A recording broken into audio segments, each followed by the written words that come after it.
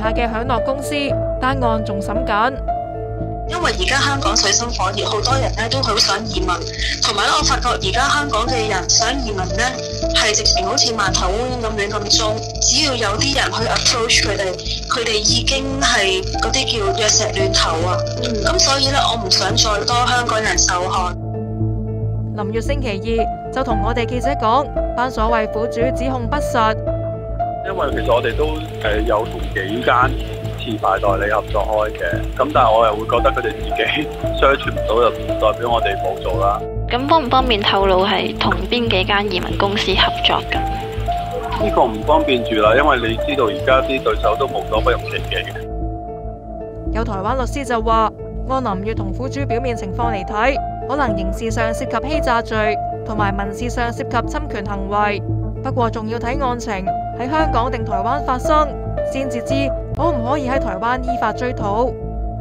一个非法的顾问公司的话，嗯，就是它会有罚款啦，可以扣除二十到一百万的罚款。那不要去相信任何的个人顾问，然后把钱交付给这些人，这个钱可能也很难追讨回来啦。有时候，像这些诈骗集团真的非常多，拿了钱就跑了。徐律师话，台湾移民署网页嗰度。